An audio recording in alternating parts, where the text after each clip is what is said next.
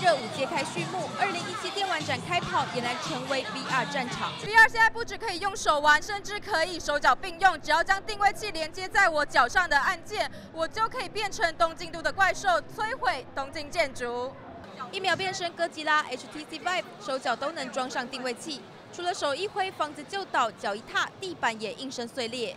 像电影里的大怪兽一样，我也有大绝招。只要我长按这个按钮，我就可以发射紫色光波。日本で怪獣がすごい人気あるんですね。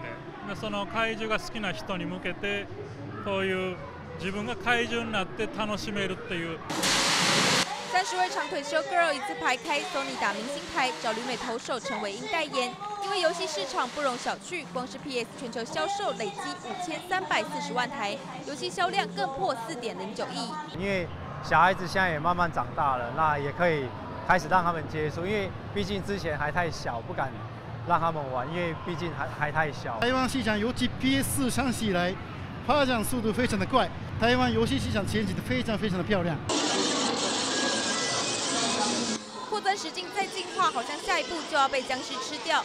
Google 的 AR 手机宛如上演台北捷运版的失速列车。